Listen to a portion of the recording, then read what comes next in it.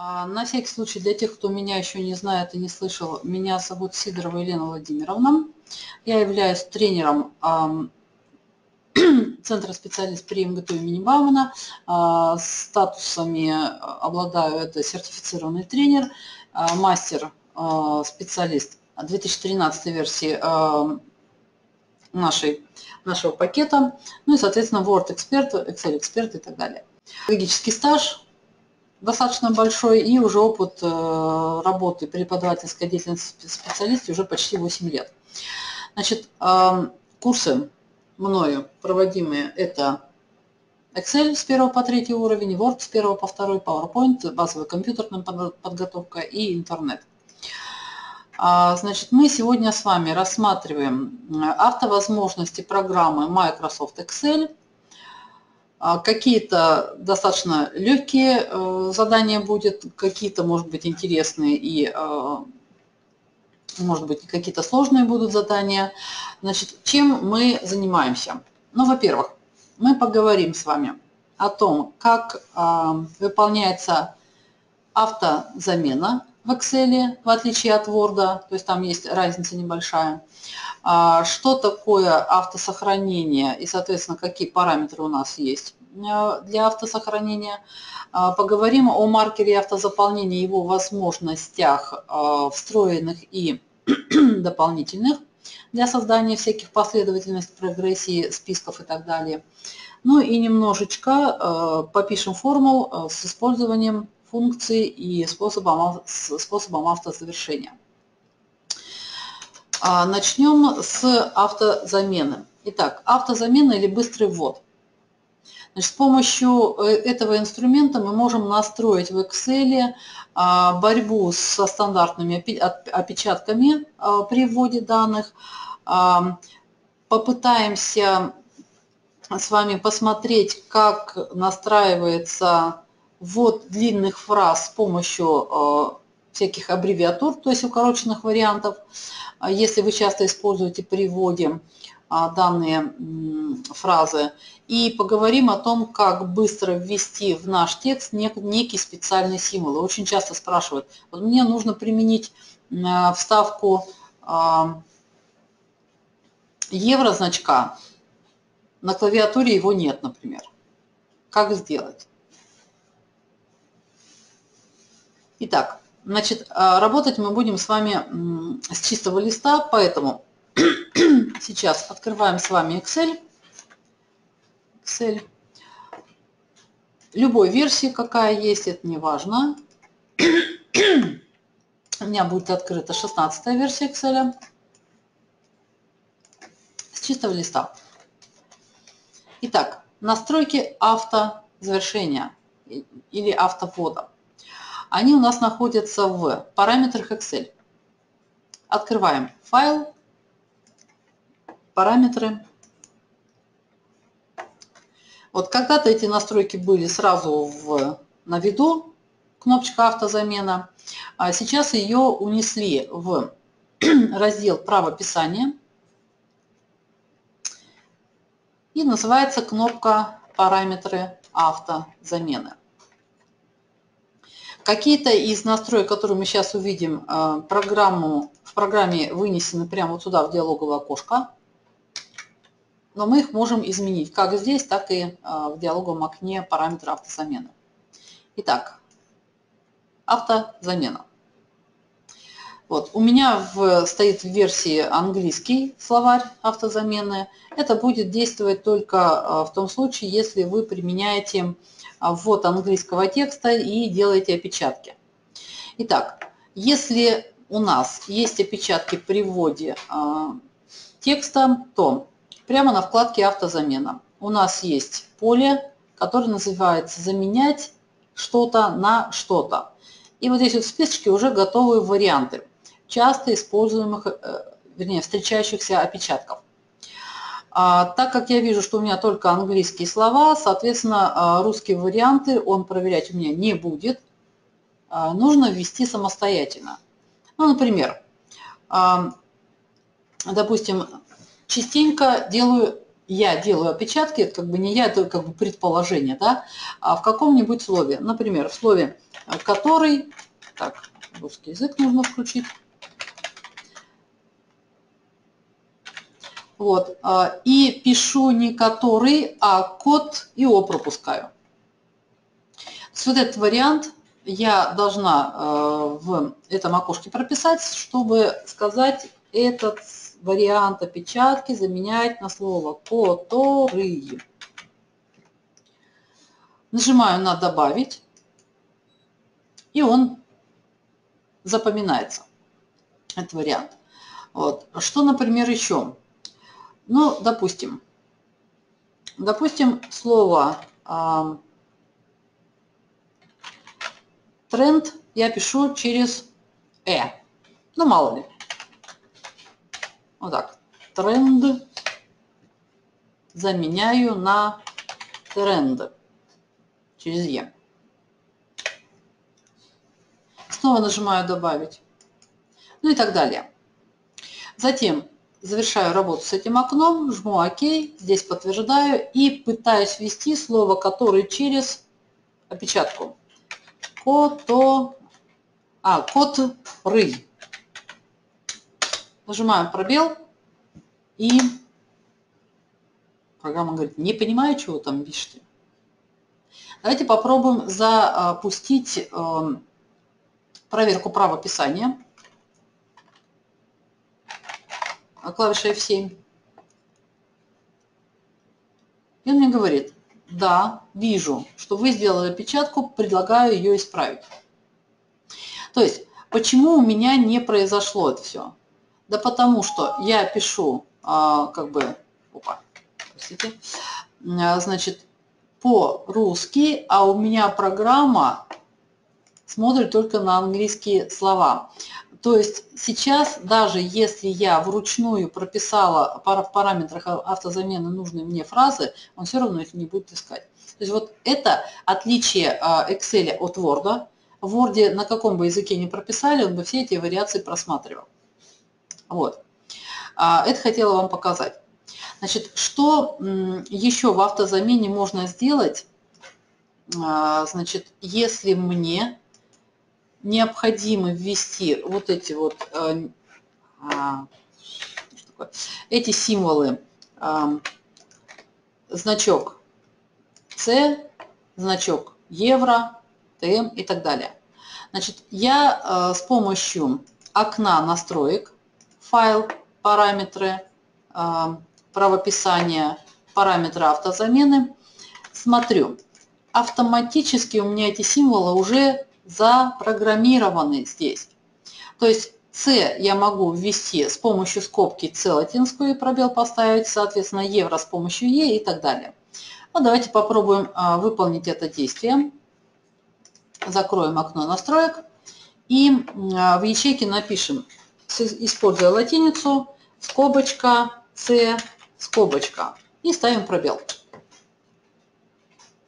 Получаем нужный знак. Ну, допустим, в следующей чеке я пишу скобка, ТМ латинская, скобка и снова пробел. Получаю символ ТМ. А дальше скобка, Е латинская и снова скобочка. И еще раз пробел. Получаю евро. То есть то, что заложено прямо в самой программе, а, я использую для того, чтобы быстро вводить символы. Если я не знаю этот вариант, как можно эти символы ввести? Так, кто-нибудь мне сможет на это ответить? Через ставку символ. Да, верно, через ставку символ.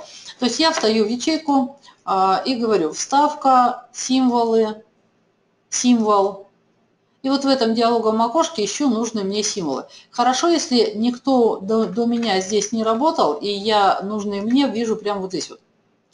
А если кто-то поработал и вставлял какие-то символы, тогда этот список будет обновляться постоянно, и тогда мне нужно будет искать а, нужные мне символы в большом-большом списке. Причем не только внутри одного шрифта эти списки меняются, но еще и в разных шрифтах.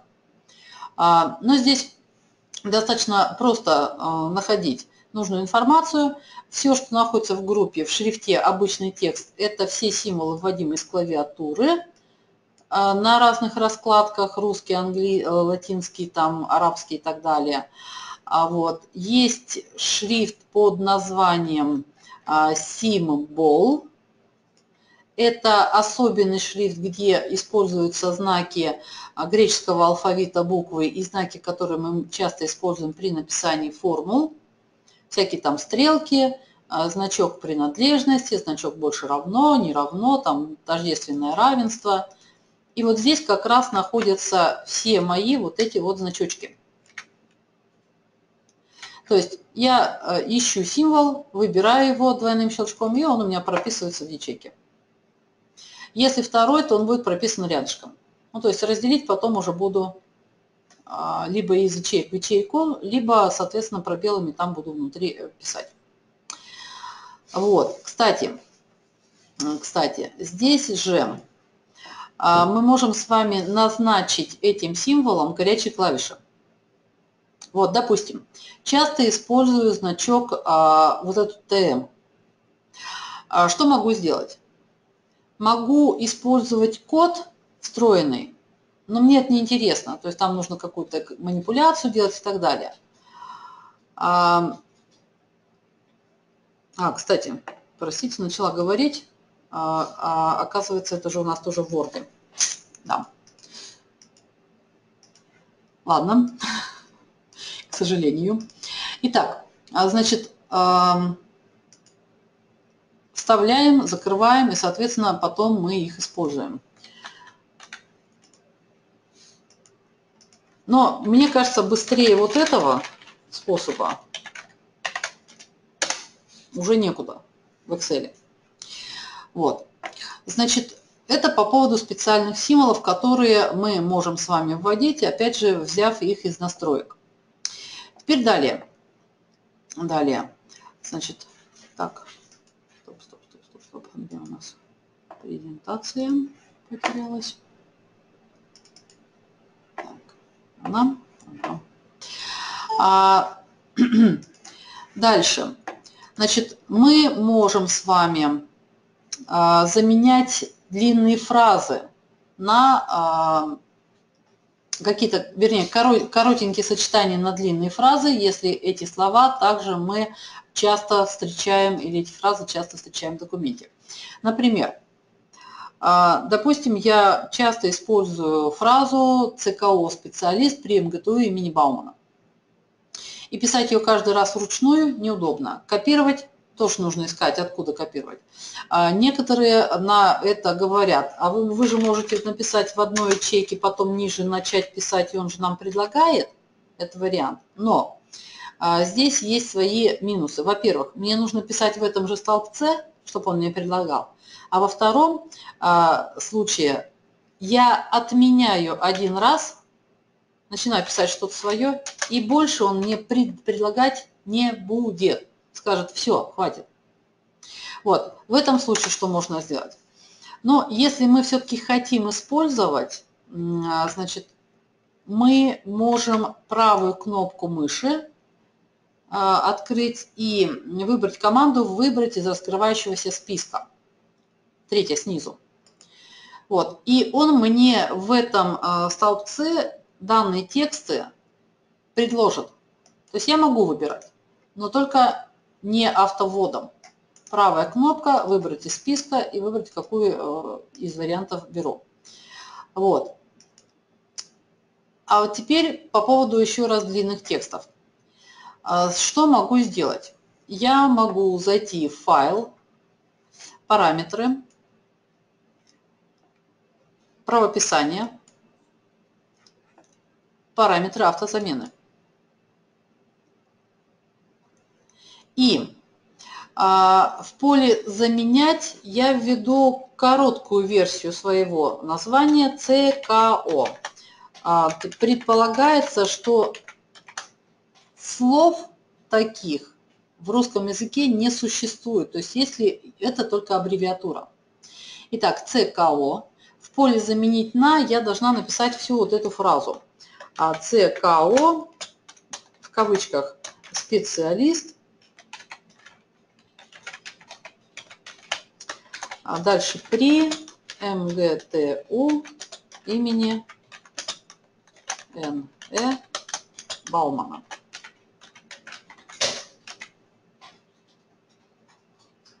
Нажать на кнопку «Добавить», чтобы программа запомнила. И выйти отсюда через ОК. ОК, ОК. Теперь, где бы я не написала большими буквами ЦКО и не нажала бы пробел, у меня эта фраза сама автоматически дописывается. Могу на другом листе написать ЦКО, поставить пробел, он тоже допишет. Можно писать здесь же ниже, снова ЦКО, и тогда он будет предлагать, как а, в обычном варианте, эту фразу.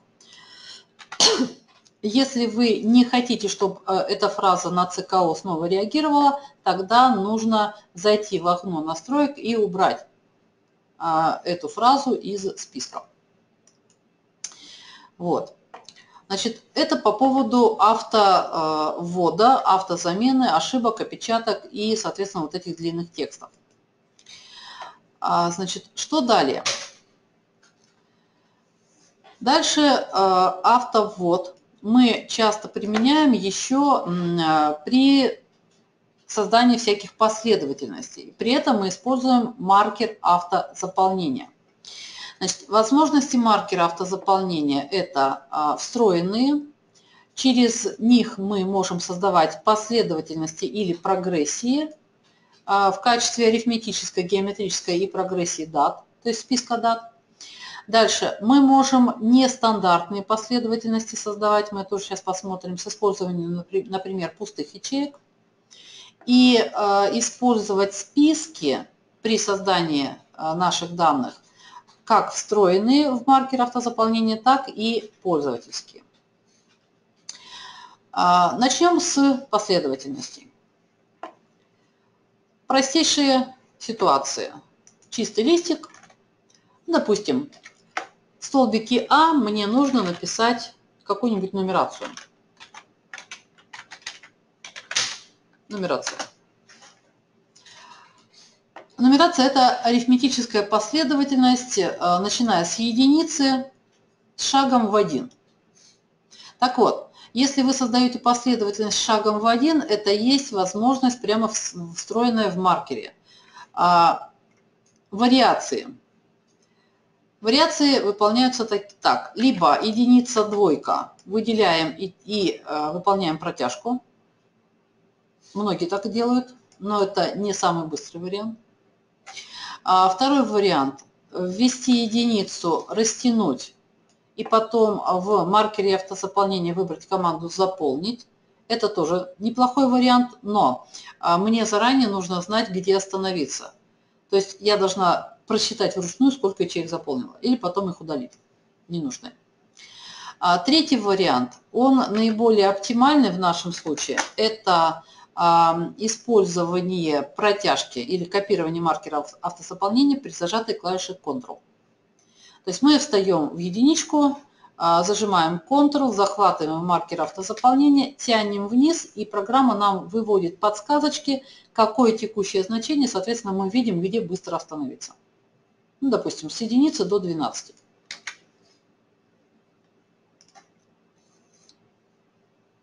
То есть это у нас с вами а, с использованием клавиши Ctrl, протяжечка. Использованием Ctrl. Далее. Если нам нужна последовательность или прогрессия, прогрессия, например,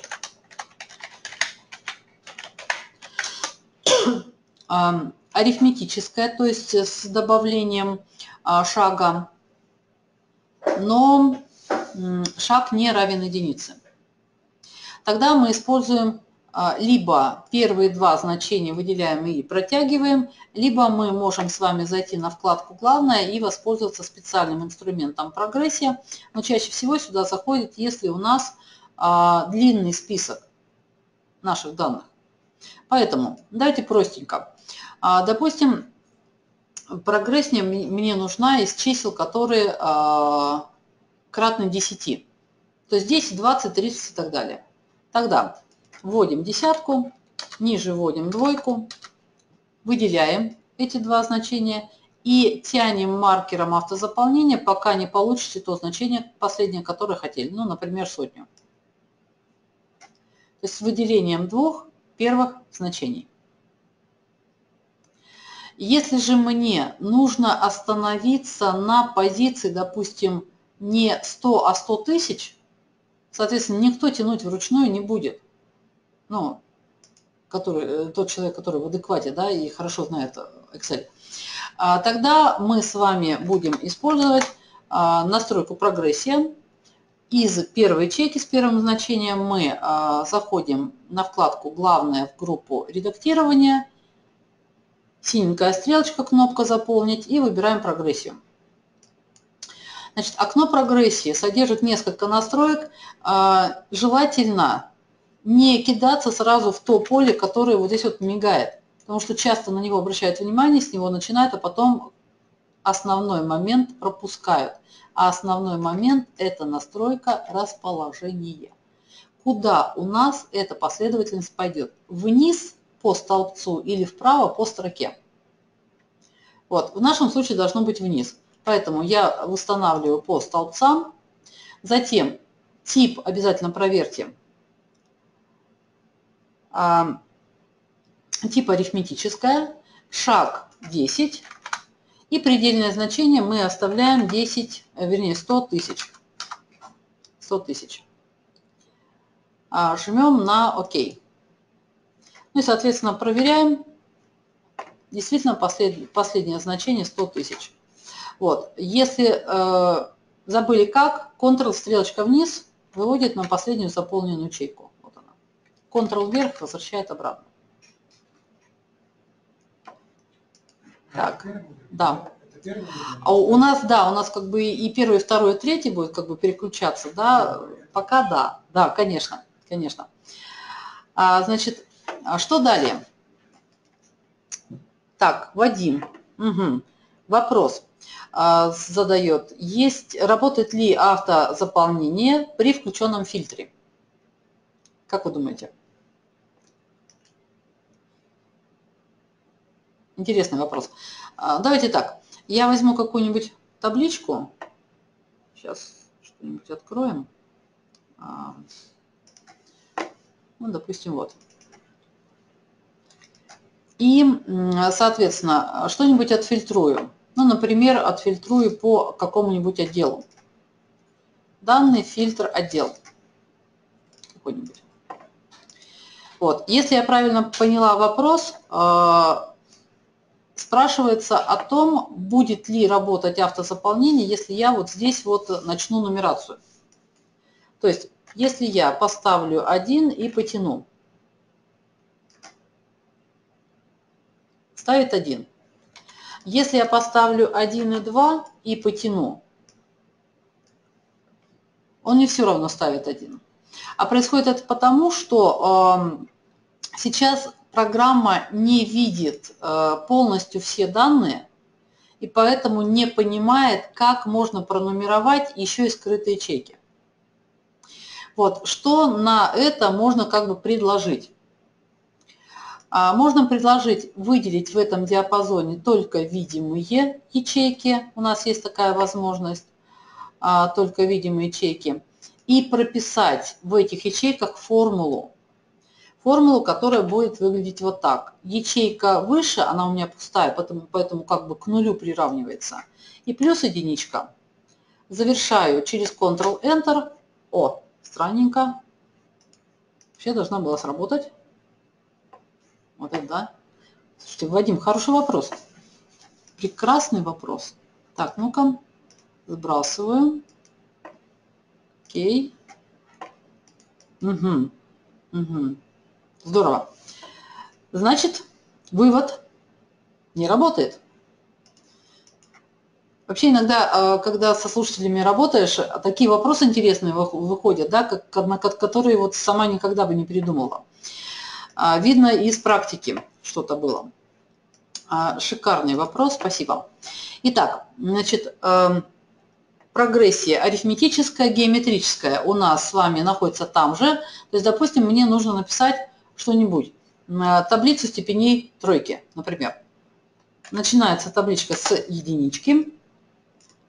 И дальше Excel не может маркером автозаполнения выполнять умножение, поэтому только в прогрессии.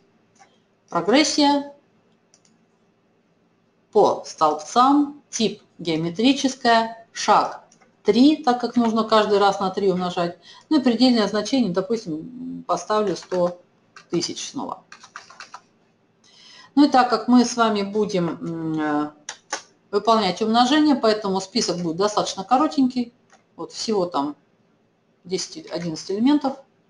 11. Вот. И э, на значении 59 тысяч мы остановимся, потому что следующий уже превышает сотню. 100 тысяч. Это автозаполнение маркер. Значит, если мы используем с вами маркер автозаполнения для работы с датами, то по умолчанию, ну, допустим, 1, 6, 15, 16, давайте год уже поменялся. А если я просто использую маркер автозаполнения, а, значит, он мне создает последовательность этих дат. Если я буду тянуть зажатым контролом, он мне создает копию дат.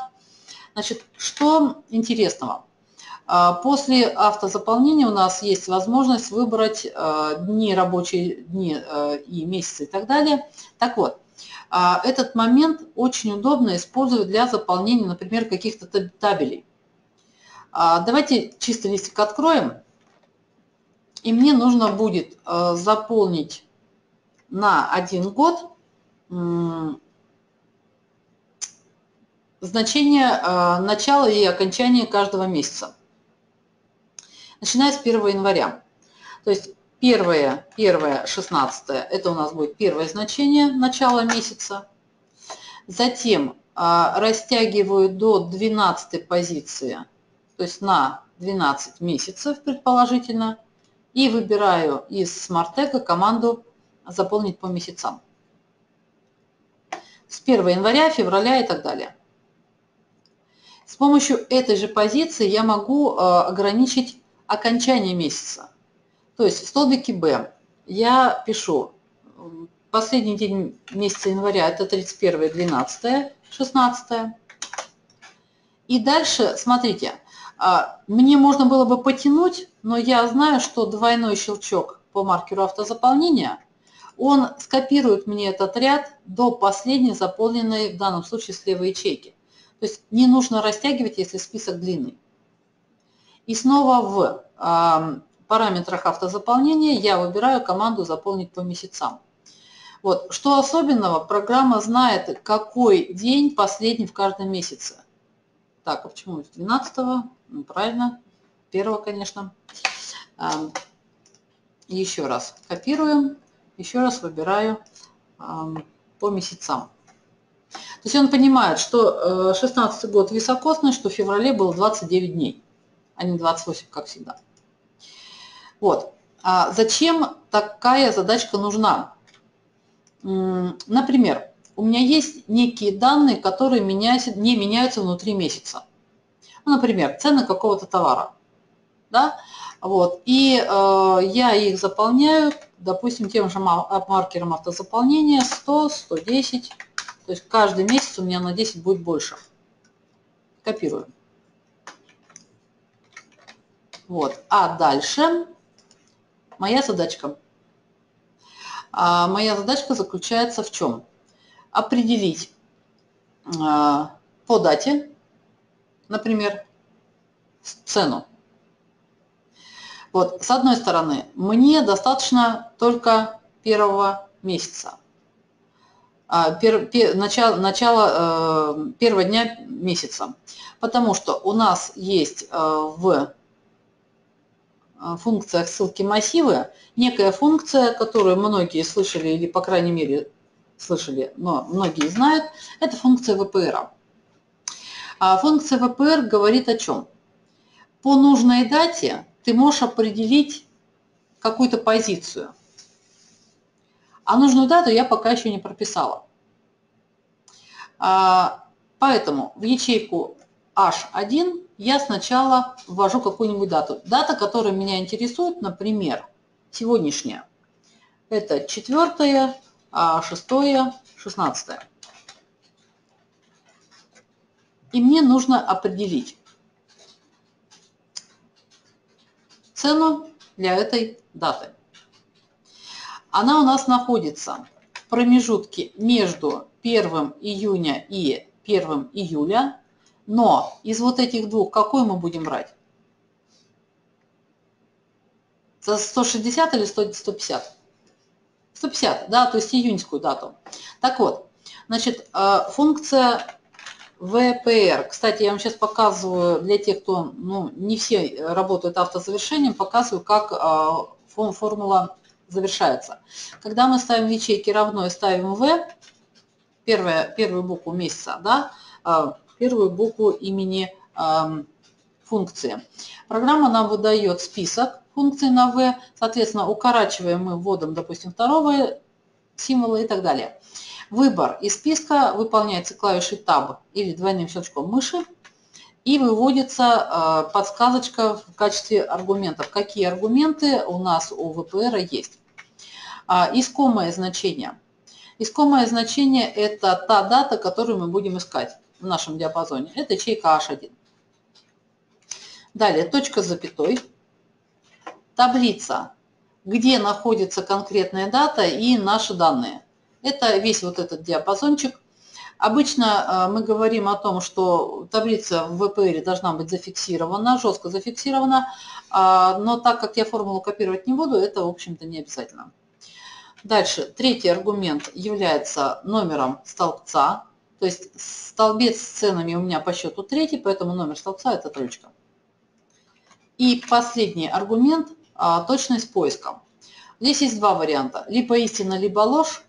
А, истина или единица – это приближенное значение, а ложь или ноль – это точное значение. Вот здесь стоит как бы немножко остановиться. Нам нужна дата 4 июня. Есть ли вот в этом столбике дата 4 июня? Ее нет. Поэтому можем ли мы использовать ноль точное совпадение? Он скажет, я такой даты не вижу, не знаю. Поэтому нет. И здесь как раз используется единичка, он говорит, а, найди приближенную меньшую. То есть спустись вот по этому диапазону, просмотри все даты на совпадение 0,4-0,6. И как только ты встретишь первое значение больше, чем искал, это значит, что твоего ниже не должно быть потому что у единицы есть обязательное условие, столбец должен быть отсортирован по возрастанию. Вот, остановись на этом значении 1 июня, вернись в предыдущую строчку, и твои данные будут находиться именно в ней. Поэтому здесь мы ставим с вами либо истина, либо единичка. Кстати, либо ничего не ставим, потому что по умолчанию стоит, стоит единица. И завершаем ввод. И вот как раз наши 150 и являются ответом а, данной задачи. Вот. А, значит, что дальше? Дальше иногда, иногда а, требуют работу с датами, но говорят, а мне нужно, чтобы он здесь месяцы писал. Чтобы было написано январь, февраль, март, апрель там и так далее. Это у нас форматирование – мы выделяем столбец, или можно сразу, нет, давайте один столбец. А, открываем диалоговое окошечко формата или числовой формат. И, в принципе, в автоформатировании у нас с вами есть позиция, которая называется март. Тип дата март. Жмем ОК и получаем вот такие данные. Январь, февраль, март. Визуально это тексты, реально это даты. Поэтому в данном случае функция VPR продолжает работать, то есть она работает как с датами. Очень часто спрашивают, а можно ли так с текстами сделать? То есть если у нас вот эти значения будут текстовыми, и, кстати, как их заполнить? У маркера автозаполнения есть встроенный список. Один из них – это список месяцев. То есть я ввожу название первого месяца, растягиваю, и он пишет декабрь э, по, по декабрь, с января по декабрь. Так вот, э, будет ли у меня сейчас работать э, моя функция, если эти данные заменят первый столбик? Вот сразу видим, решетка НД говорит о том, что данных так, таких нет, потому что в этих ячейках тексты, а мы просим найти там даты. Вот поэтому, если вы хотите, чтобы было написано э, месяц, но э, ВПР работал как с датой, пишите так. Даты заполняйте, меняете формат и, соответственно, э, работаете визуально с текстами, реально с датами. Ну, а далее как бы я возвращаюсь к маркеру автозаполнения. Мы посмотрели, как э, есть у маркера автозаполнения список месяцев, полная сокращенная форма типа Янв, и, соответственно, все то же самое будет. И есть э, возможность ввода дней недели. То есть дни недели точно так же мы вводим какой-нибудь первый день, либо ПН, либо понедельник, хотя неважно, можно со среды начать, и растягиваем растягиваем до, э, допустим, до воскресенья. Либо оттащим дальше и, соответственно, используем список. Более широкий, более длинный. Вопрос. А можно ли понедельник связать с датами? То есть сделать так, чтобы программа писала понедельник-вторник, а реально в ячейках находились даты. Вот, это тоже можно делать через форматирование. Если интересно, давайте сделаем. Допустим, 1 января 2016 же года. Растягиваем на несколько ячеек вниз. Вот, а далее, далее я, э, чтобы было интереснее, привязываюсь к, этой, к, эти, к этому диапазону через равно равно b16 и копируем.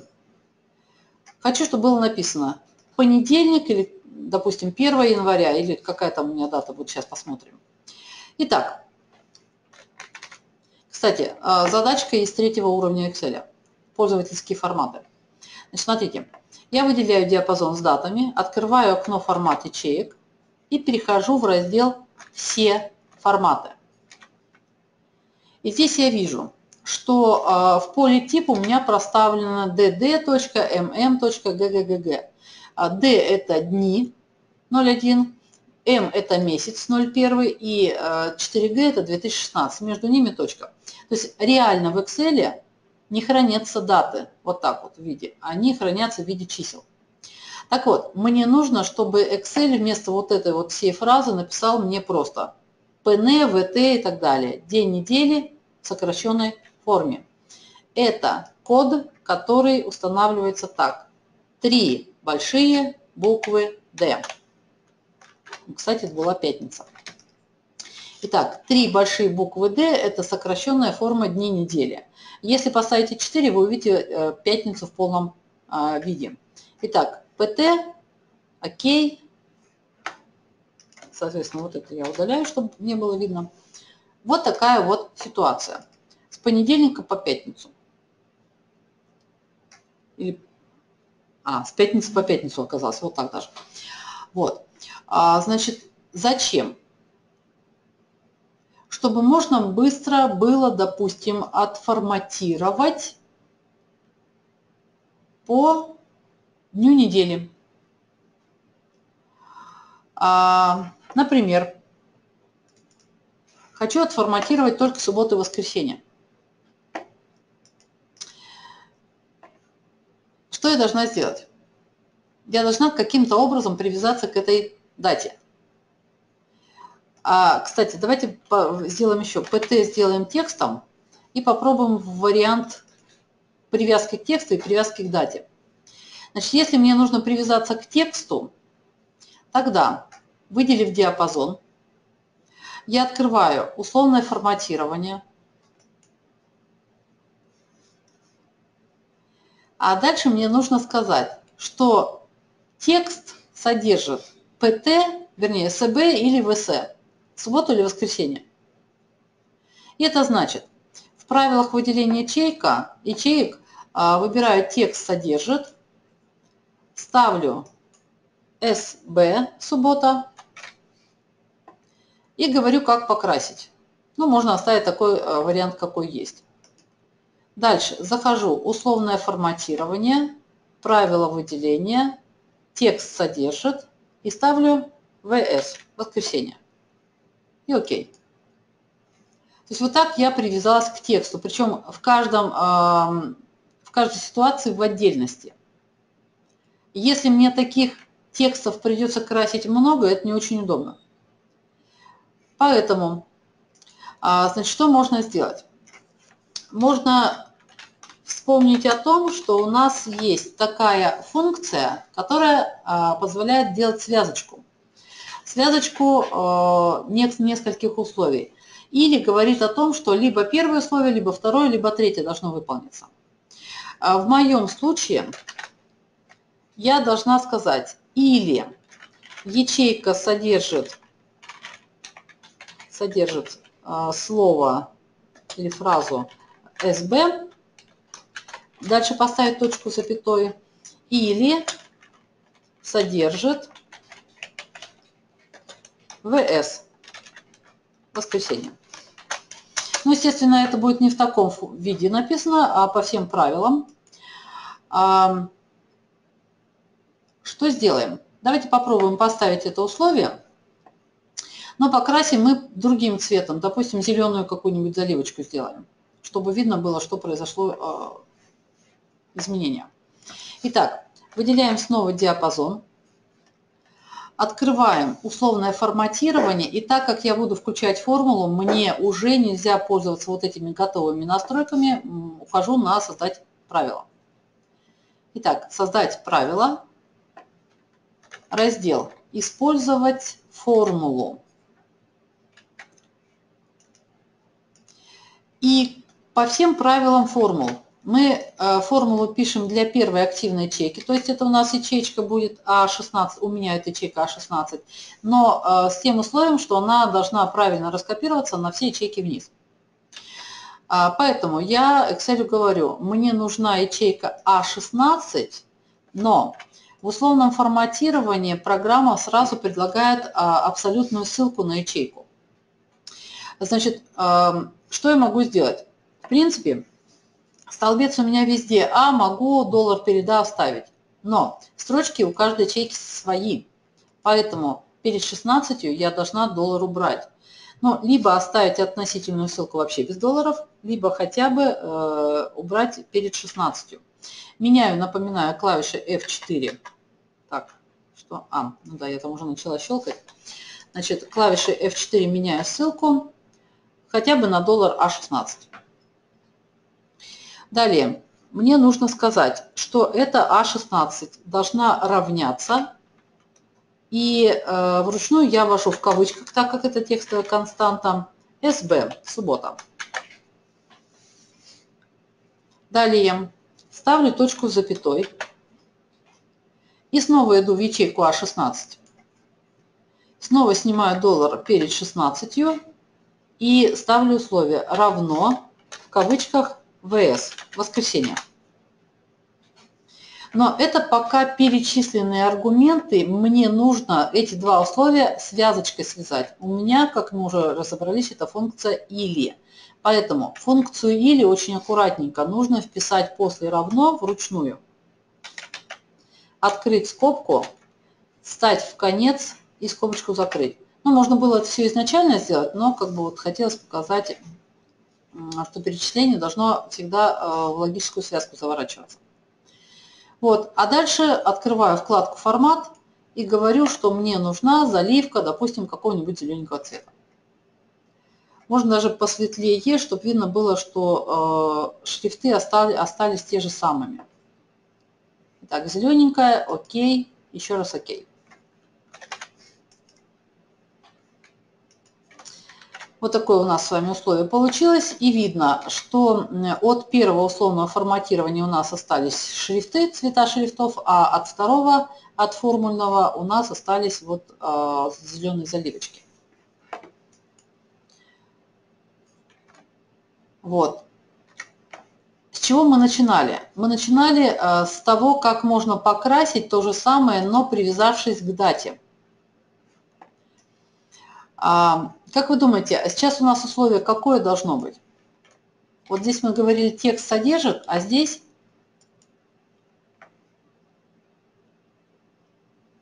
никак нет идей. К чему мы должны привязаться?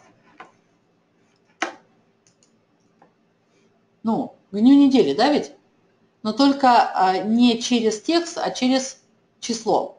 Так вот, смотрите, в Excel есть функция, которая называется день нед, день недели.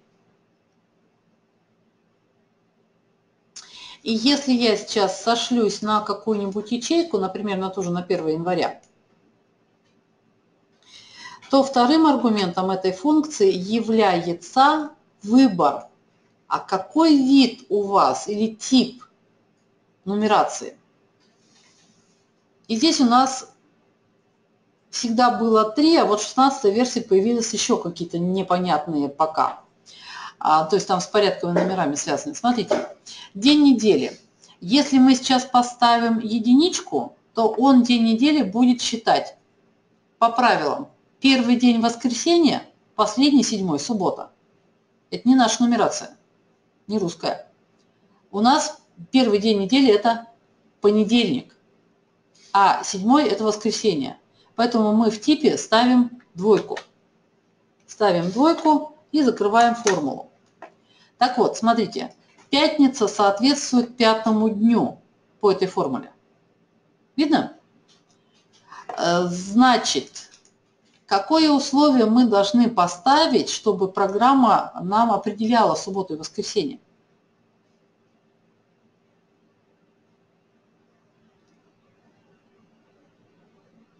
Ну, если день недели, либо какой? Суббота. Шестой или, или седьмой. То есть нам нужно сказать, день недели шестой, а, точка запятой, день недели седьмой, суббота и воскресенье. И эти два условия связать функцией какой?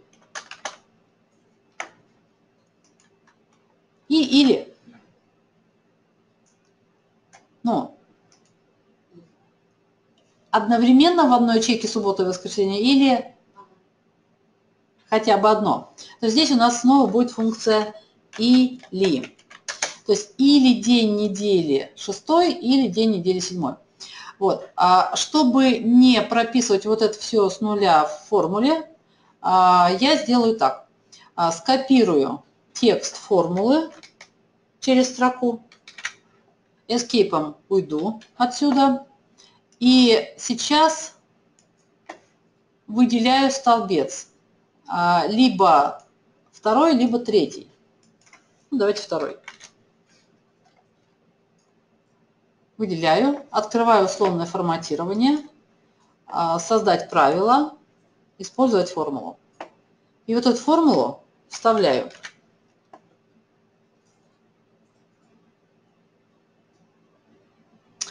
И назначаю формат. Ну, для интереса, допустим, желтенький хочу. Окей. Еще раз окей. И теперь у меня суббота и воскресенье будут покрашены, но уже при работе с датами. То есть мы можем с вами использовать готовые варианты для маркера автозаполнения, прописывать э, текстами, прописывать датами, превращая потом формат, через формат в дни недели, ну и потом через, допустим, условное форматирование делать вот эти календарики. Часто спрашивают, да, как покрасить выходные. В зависимости от того, какой был ввод, так и раскрашиваем.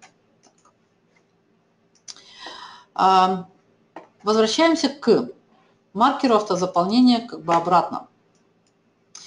Мы поговорили о том, как используются готовые списки. Теперь, свои списки. Если мне нужно каждый раз вводить в одном и том же порядке какие-то нужные мне элементы. и не хочется их копировать откуда-то, а, маркер автозаполнения не работает на копию э, разных элементов в одном столбце. Поэтому что я делаю? А, я заранее прописываю эти элементы где-нибудь в ячейке, потом заношу в ячейках, затем заношу эти элементы в память маркера автозаполнения. Ну, давайте что-нибудь простенькое возьмем. А, допустим, список городов и какие-нибудь коротенькие. Ну, что-нибудь. Орел, например, Тула, а, Уфа, что-нибудь еще. Омск, Томск, ну, допустим, там Пермь. Ну и достаточно. И мне эти города нужны именно в этом порядке. Что делаю дальше? А, выделяю этот диапазон. И дальше я должна зайти в окошко, где а, эти все списки хранятся. А хранятся они в настройках, естественно. Файл, параметры, а, дополнительно. Дальше в правой части окна мы ищем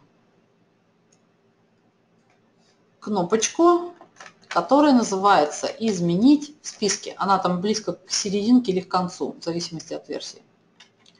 «Изменить в списке». И так как я заранее диапазон выделила, программа в поле «Импорт» из списка, импорт списка язычек, этот диапазончик мне показал. Моя задачка нажать на «Импорт».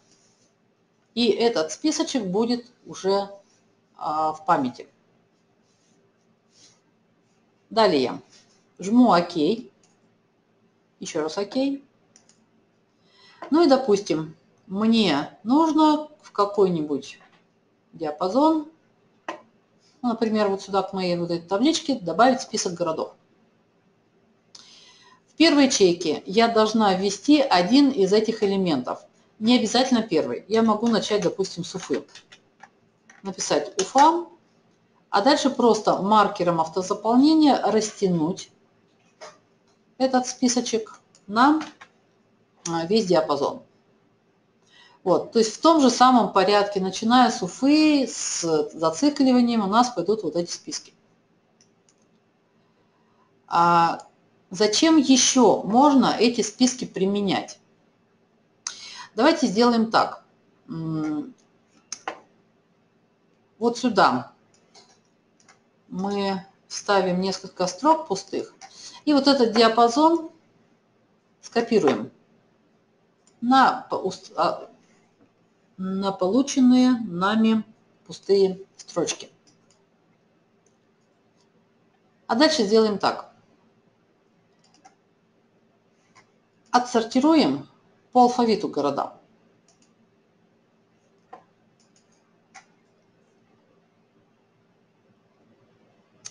То есть есть какой-то э, диапазон с, со сортированными данными, а мне нужно сделать так, чтобы города программа сортировала, но в сортировочке участвовал вот этот порядок. После Орел Тула, потом Уфа, потом Омск. О, что это я там? Ладно, буковку пропустила. А, итак, сортировка по указанному списку.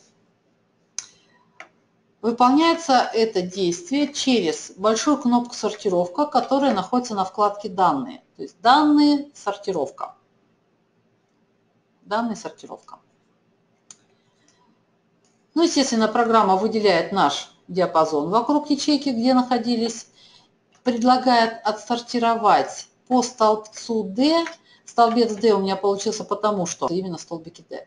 Если не так что-то, значит открывайте список и меняйте выбирайте тот диапазон, где хранятся города. Затем используем мы сортировку по значениям и порядок. Порядок сортировки через настраиваемый список. И здесь нас программа отправляет как раз а, в список нашего маркера автозаполнения. Если вы этот список заранее создали, значит его можно использовать для сортировки. Выделяем нажимаем на Окей? Еще раз на окей. Все. Вот они. Города отсортированы по тому списку, который я попросила. То есть а, пользовательские списки для, авто, для маркера автозаполнения точно так же, как встроенные дни, недели, месяцы и так далее, кварталы, можно использовать еще и для сортировки данных. Вот. Так, что. Значит, а, посмотрели маркеры автозаполнения.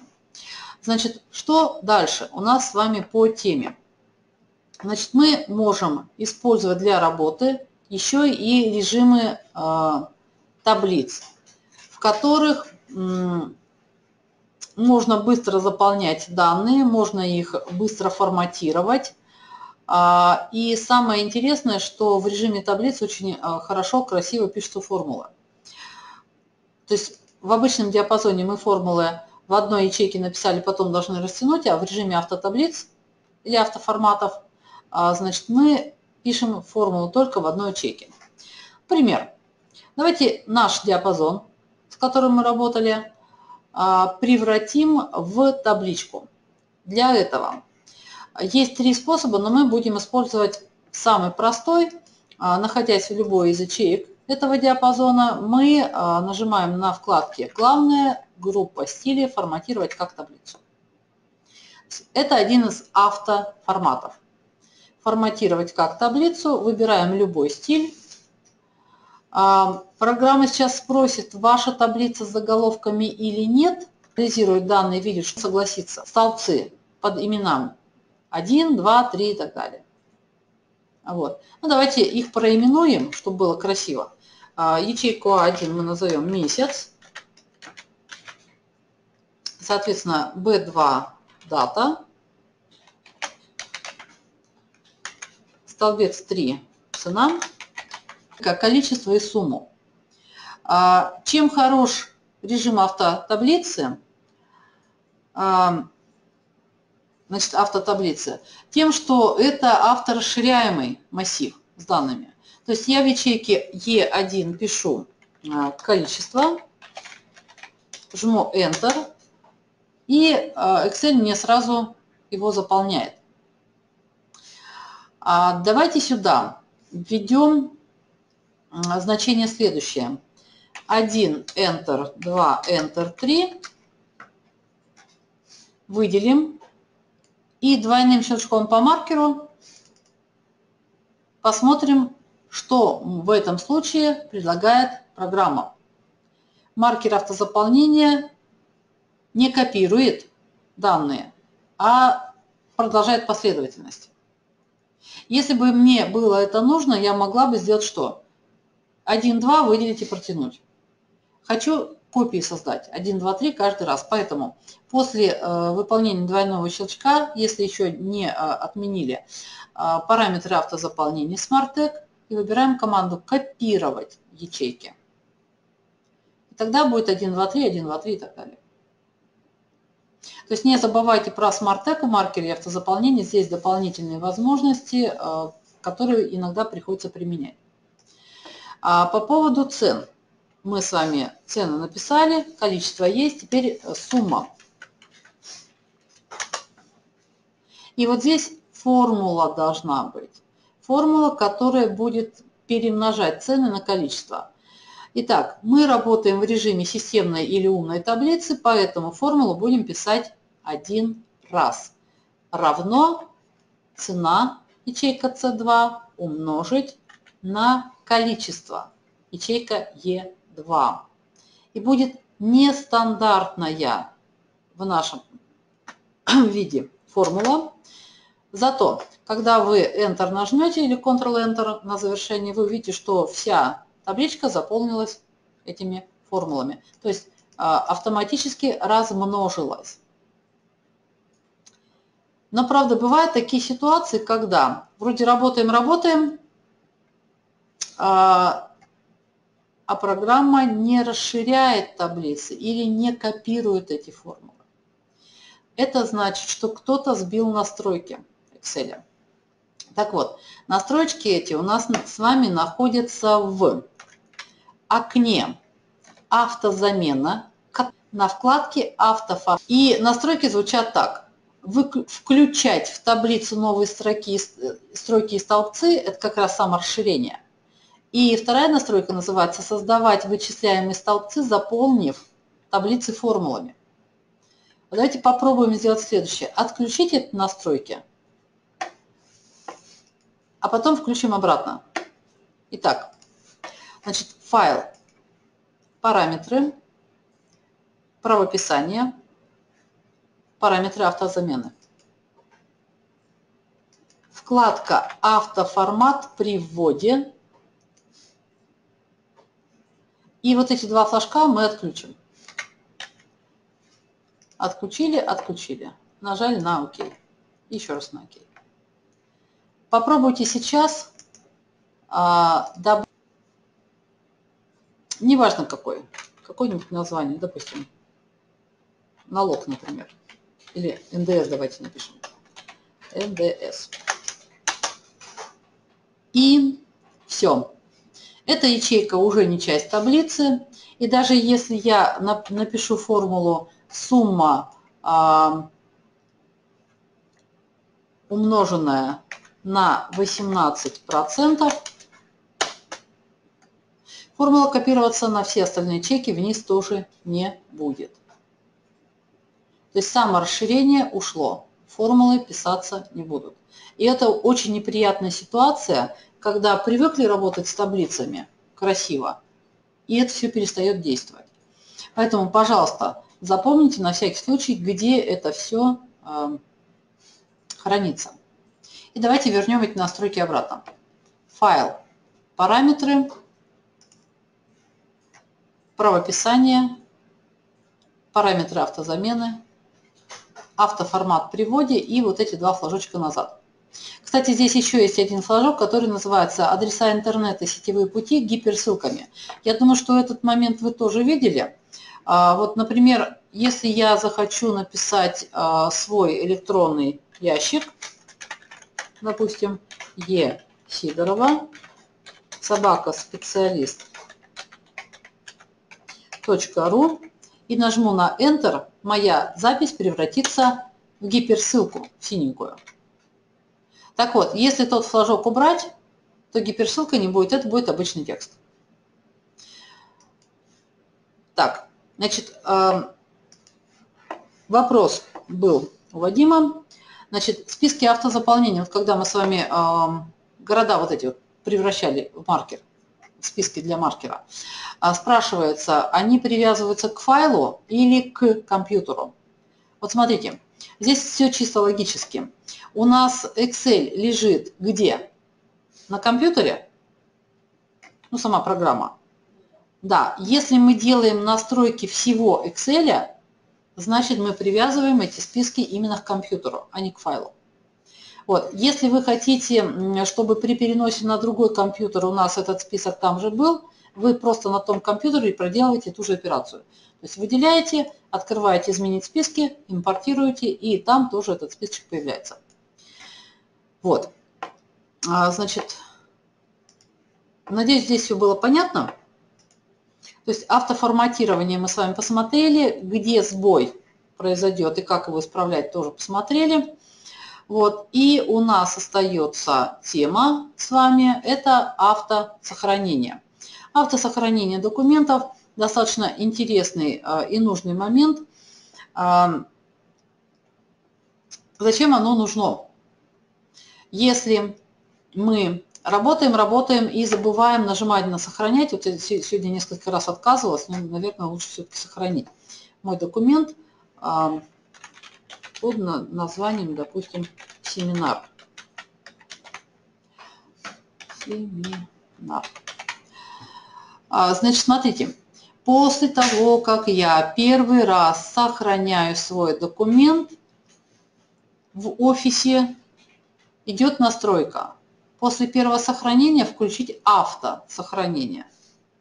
И нужно это для того, чтобы, а, если вдруг произойдет какой-то сбой в компьютере, или в самом Excel, если отключится свет, к сожалению, да, у нас такое еще бывает, вот, э, тогда, а я до этого сохранила полчаса назад.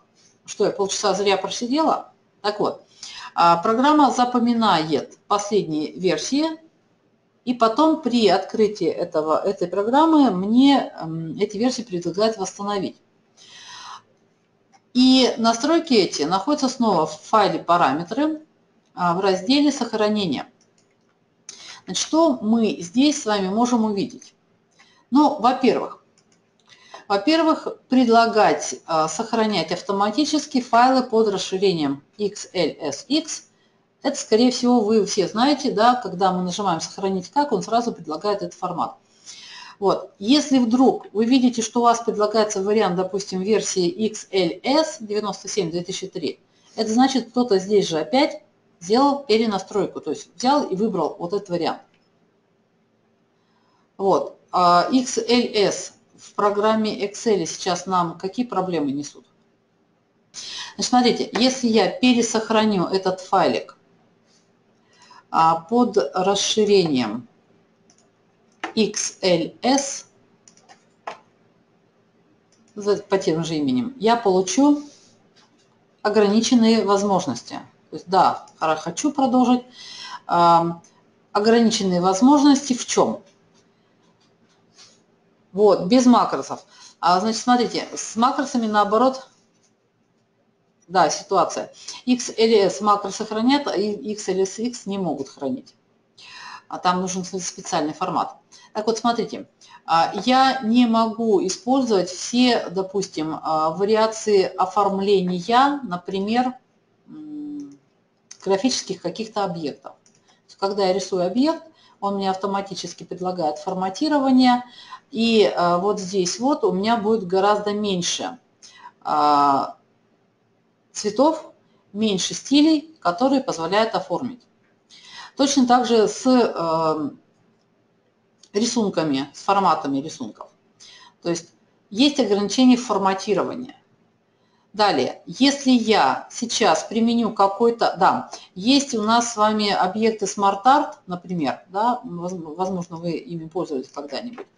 Это некие схемы, которые можно рисовать с рисунками, какие-нибудь для интереса, с текстами, с готовые схемы, готовые шаблоны схем, которые нам предлагает программа для того, чтобы не сидеть и не мучиться. Взять что-нибудь написать. Там, это то-то, это то-то, это то-то. Так вот, если я использую схемы, которых не было в старых версиях, при сохранении он мне будет говорить, вы чего-то там использовали, у меня этого не было и предлагает продолжить, либо просто пересохранить как новый документ. Я говорю, продолжим. И смотрите теперь, а, если я этот файлик сохраню и открою в другой программе, у меня вот эта схема, она не будет редактироваться, она будет мне показана как обычная картинка. То есть ограничения есть. Пока я в данной версии Excel нахожусь, я могу применять эти настроечки, а вот когда этот файлик будет открываться в другой программе, он скажет, это картинка, без права изменений. Итак, возвращаясь к настройкам а, наших сохранений. Сохранение. Итак, автосохранение. Вот многие знают про эту настройку, знают, что десяточку 10 минут можно поменять там на 2-3 на минуты, чтобы почаще сохранялся. Но мало кто а, понимает, что это сохранение включается только после первого ручного сохранения документа. То есть открывает файл, программу, начинает в нем работать, работает, работает, говорит, все равно сохранится. Потом через час свет гаснет, открывают Excel, а никаких автосохраненных версий нет. Про это нужно помнить. Сначала сохраниться, а потом уже надеяться на автосохранение. Далее, если все-таки произошел сбой, а при открытии программа не а, выводит вам окно восстановления, значит вы можете узнать, куда Excel может сохранять эти версии временные. А, есть путь прописанный а, на диске C в папка Users, а, тот пользователь, под которым вы вошли в систему, и некая папка AppData. Ну и дальше там путь roaming, Microsoft Excel. Так вот, вот эта папочка, она скрыта. То есть если я сейчас попытаюсь, допустим, в, в своем компьютере открыть диск C а, пользователи, где у меня тут, студент, под которым я вошла, папку AppData я могла бы не найти. Нашла я потому, что у меня просто настройка стоит. Я думаю, что в Windows настройки вы, э, возможно, эти тоже знаете, но на всякий случай я вам ее покажу. Значит, а, кнопочка «Упорядочить», параметры папок и поиска и вид, вкладка «Вид». И вот здесь вот в самом низу есть не показывать диски, эта настройка по умолчанию должна стоять. И тогда вы до, до апдата никогда не доберетесь.